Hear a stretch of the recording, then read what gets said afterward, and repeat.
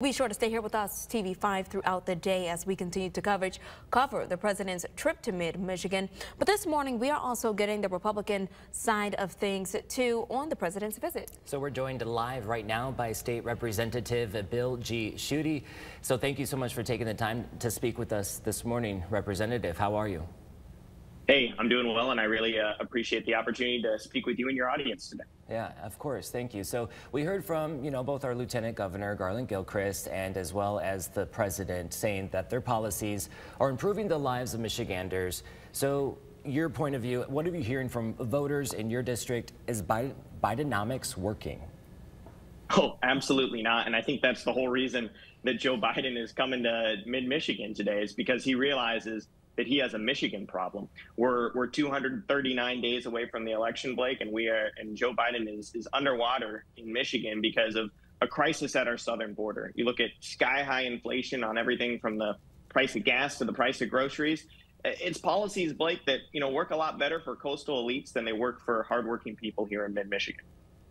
And Representative Schuette, this is Sierra speaking to you right now. Uh, you are up for re-election this year, and you hold Ask Bill G sessions to hear from voters. What other issues are voters bringing up to you? What are the people's concerns?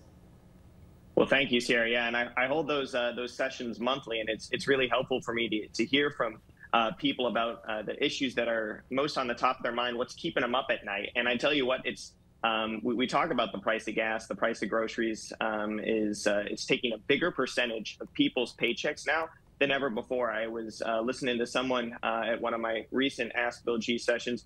Uh, she was talking about having to take items off of the conveyor belt and put them back um, onto the cart because with prices, people can't even afford um, their normal groceries in Joe Biden's America, and that's you know that's sad. But you also hear about this horrible fentanyl crisis that is really hammering mid Michigan hard. You look at, um, you know, uh, throughout our state, uh, the opioid epidemic is uh, being fueled by the crisis at our southern border. And so I do want to bring up, you know, one of your campaign issues, reinforcing strong communities. Would you say that's possible with the Biden or Trump presidency?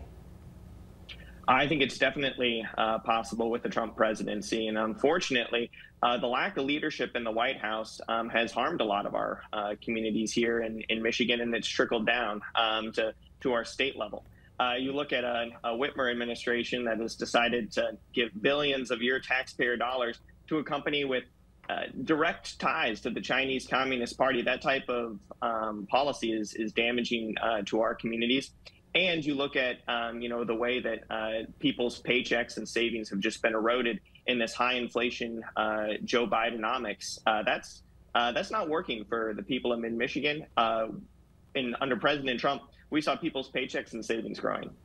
And Rep Schuette, just really quick, what do you think another Biden presidency will mean for the people of mid Michigan? Well, that's a that's a scary thought, Sierra. So um, I'm hoping I'm hoping uh, the American people make a decision uh, to go for bigger paychecks and uh, stronger communities and uh, in in November. But just look at the at the at the track record that we've seen in the last four years. We we see a southern border that is completely overrun. We have um, people uh, paying more than they ever had for groceries, while their dollar is going less and less far.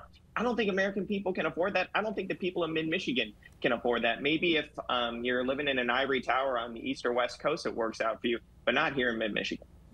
All right, Representative Schuette, we appreciate your time this morning. Thanks for uh, giving us some insight on, you know, the Republican Party side of things. Hey, thank you, and I appreciate the opportunity to speak with you both this morning. Of course, thank you.